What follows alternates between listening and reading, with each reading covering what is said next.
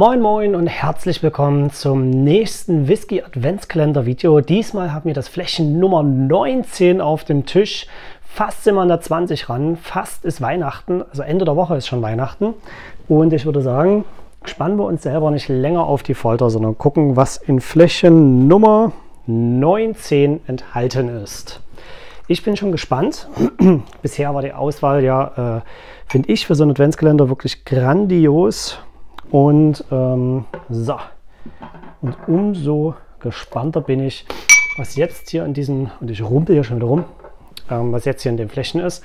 Von der Farbe her ist es ein bisschen heller. Ja, weiß man nicht. Ist es nicht gefärbt, ist es einfach ein bisschen jüngerer, aber wie gesagt, bei der Farbe halte ich mich nicht lange auf. Und hier habe ich nussige Aromen. Ja, nussig, cremig.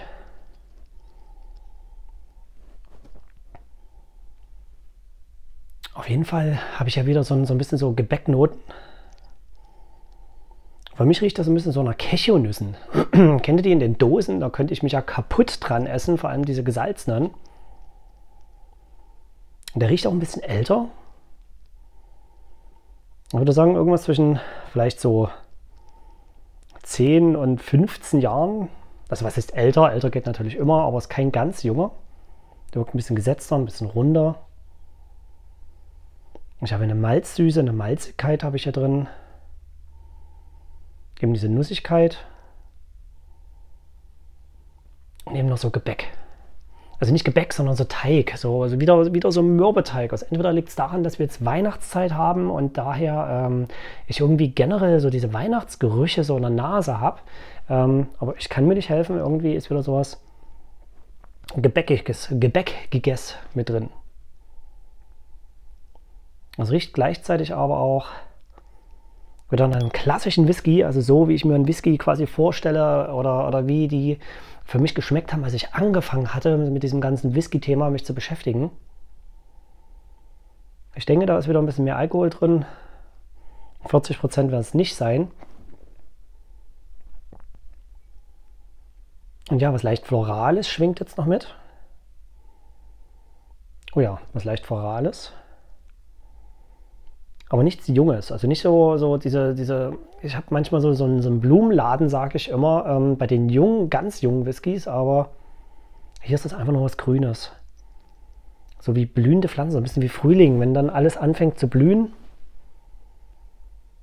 Oh ja, das ist so, dieses grüne Florale sind eher so diese Blüten. Wenn das alles so nach, nach Frühling, nach Blüten, frisch, fruchtig, floral und Nuss. Ja, würde ich sagen, bevor wir jetzt aber hier lange ähm, rumrätseln, gucken wir auch mal weiter rein, was das hier für ein Whisky ist.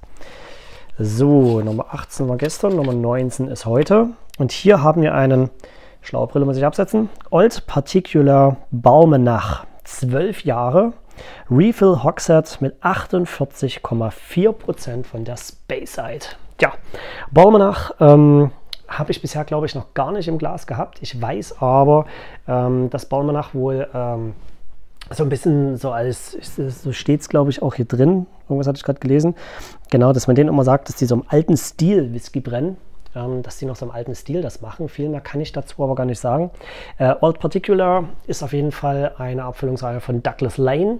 Ist denke ich mal, jedem irgendwo ein Begriff, vor allem von dem Big Pete, den man ja mittlerweile überall kriegt, in jeder Kaufhalle in tausend verschiedenen Varianten.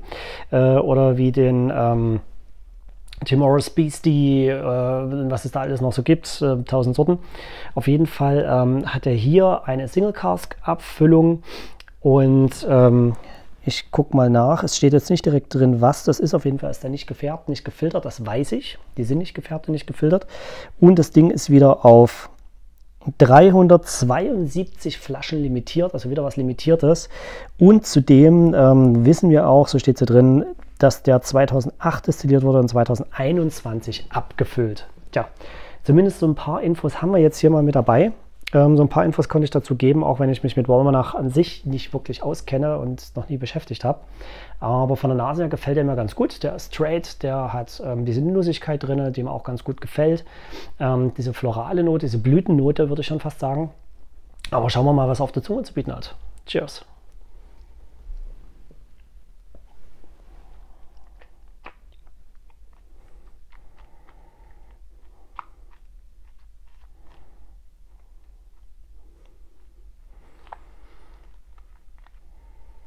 Mhm. Der ist kräftig, würzig. Jetzt habe ich ja auch so eine, so eine Würzigkeit erstmal auf der Zunge. Mhm. So eine, so eine leichte Schärfe. Ähm, aber so süßlich scharf eher. Ich kann jetzt gar nicht so richtig greifen, was es ist. Mich erinnert das wieder ein bisschen an so scharfen Zimt.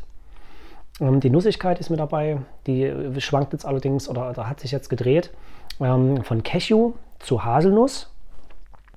Ähm, habe ja auch so eine leichte Vanille mit dabei. Und diese floralen Noten, die ich an der Nase hatte, die habe ich jetzt auf der Zunge mit. Und zwar erinnert mich das so ein bisschen, da gibt es teilweise, kriegt man das mal, ähm, an so Rosengeschmack. Es gibt also Roseneis und äh, Rosenlimo als Aroma und so ein bisschen erinnert mich das an so Rosengeschmack. Mhm. Vom Abgang her kräftig, trocken, da kommt gut Holz mit.